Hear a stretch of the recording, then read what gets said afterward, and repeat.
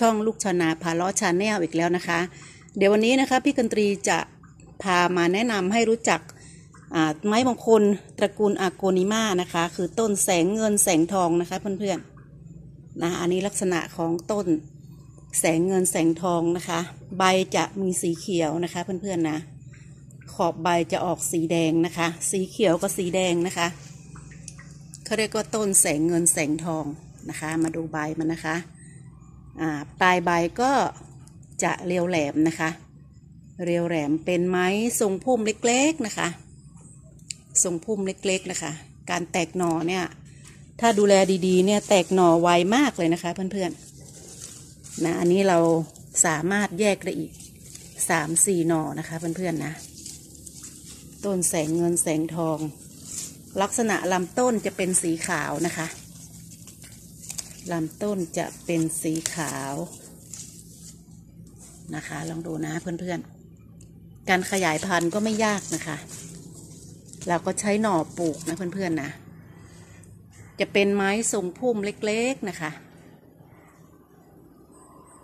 มาดูต้นนี้นะคะ ต้นนี้ก็สวยนะคะ นี่คือหน่อเขานะคะ หน่อเขาจะสวยสีขาวนะคะ เป็นไม้มงคลที่นิยมอยู่นะคะ ยังเป็นที่นิยมนะคะ แสงเงินแสงทองนะคะ เป็นแสงแห่งความเจริญรุ่งเรืองนะคะ แห่งความโชดช่วงชัชวานนะคะ เพื่อนๆ ถ้าใครมีไว้ประดับบ้านนะคะ คนนั้นก็ก็จะมีเงินมีทองนะคะ จะร่ำรวยจะค้นหาแสงสว่างนะคะ พบกับความสงบร่มเย็นนะคะ ลองดูนะคะต้นแสงเงินแสงทอง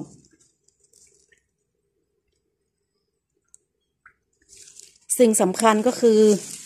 อ่าปุ๋ยนะคะ ดินที่ปลูกนะ ดินที่ปลูกนะ่ะอ่าควรจะเป็นดินร่วนนะคะ ดินร่วนแล้วก็ผสมกับแกบดำแกบขาวนะคะ ดินร่วนแกบดำแกบขาวแล้วก็จะมีขุยมะพร้าวมะพร้าวสับนะคะ เพราะว่าเขาจะชอบชอบดินที่ระบายอากาศระบายน้ำได้ดีนะคะนะดูนะคะ ดินที่ปลูก และประเด็นสำคัญคือจะให้ขาดน้ำนะคะ เราต้องคอยรดน้ำไว้ ยิ่งรดน้ำยิ่งแตกนะคะ ประมาณอาทิตย์หนึ่งรดสักครั้งหนึ่งอะไรเงี้ยนะ แต่ถ้ารดมากเกินก็รากเน่าเหมือนกันนะคะ สวยมากเลยนะคะพุ่มนี้ประดับบ้านอย่างสวยเลยนะคะ ต้นแสงเงินแสงทองของเรา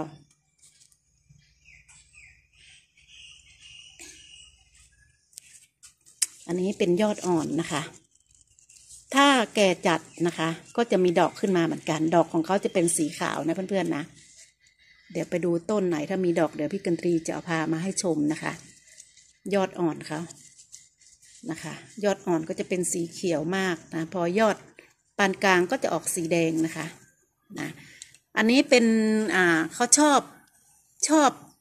อ่าแดดรำไรนะคะ เพื่อนๆ อันนี้ไม่เคยเจอแดดเลยนะคะ อยู่ในร่มตลอดนะคะ อยู่ในร่มตลอด แต่ถ้าเจอแดดมากนะ ใบก็จะไหม้ไม่ได้เหมือนกันนะคะ ใบของเขาจะนิ่มนะคะ จะอ่อนนะเพื่อนๆนะใบยอดอ่อนๆใบก็จะอ่อนนะคะนะจะสวยตรงใบนะคะ แสงเงินแสงทองนะสวยมากๆเลย พี่กันตรีชอบมากเลยต้นนี้นะคะ เอาไปประดับบ้านประดับอะไรอย่างสวยนะคะ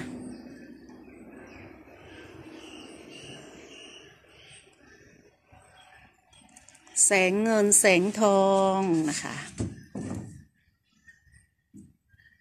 เวลาเพื่อนๆจะเอาไปปลูกนะคะ เพื่อนๆก็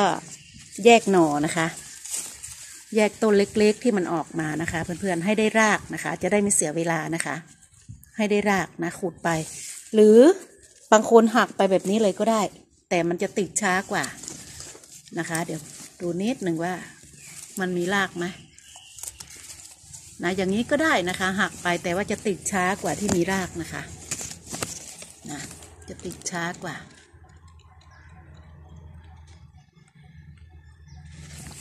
สวยงามนะคะเพื่อนๆ ต้นแสงเงินแสงทอง สวยตรงใบนะคะ ใบสวยมากเลยสีเขียวสีค่ะนี่เป็นต้นแสงเงินแสงทองนะคะ ที่พี่กันตรีเตรียมจะขยายพันธุ์นะคะ อันแรกนะคะ เราก็ถอนออกมานะคะ ถอนออกมาให้ได้รากแบบนี้นะคะ ให้ได้รากแบบนี้เลยนะคะ อันนี้ปลูกรับรองติดแน่นอนเลยนะคะ การขยายพันธุ์ก็ไม่ยากนะคะ เป็นไม้ทรงพุ่มเล็กๆ สีสันสวยงามมากเลยนะคะ สีแดง สีแดงกับสีเขียวนะคะ แสงเงินแสงทองนะคะ ต้นจะออกสีขาว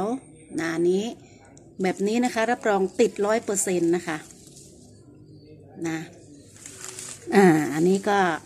ได้รากบ้าง ได้รากแบบนี้ติดชัวร์แน่นอนนะคะ ปลูกง่ายมาก ๆ เลยนะคะ เพื่อนๆ ต้นแสงเงินแสงทอง ต่อมาไม่ได้รากนะคะ ไม่ได้รากก็ปลูกได้นะคะ นะ เดี๋ยวเราจะปลูกลงในกระถางเลย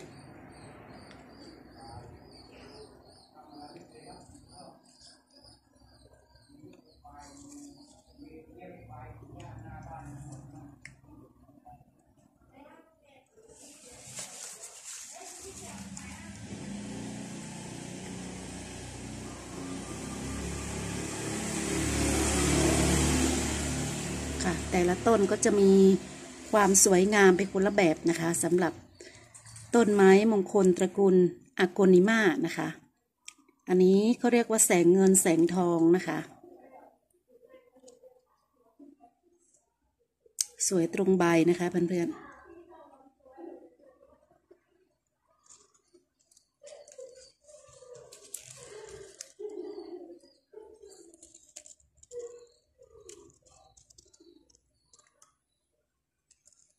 ปลูกง่ายนะคะ